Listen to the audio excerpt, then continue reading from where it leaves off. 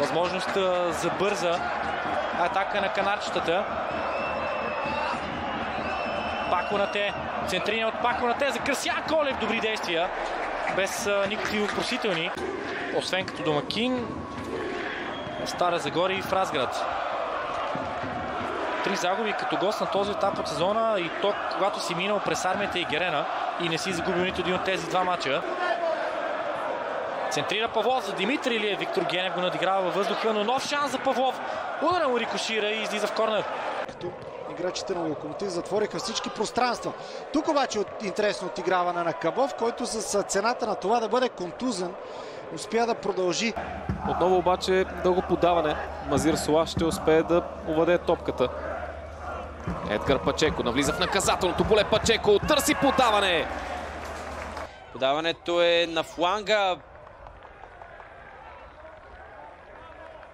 Етан Тумбак.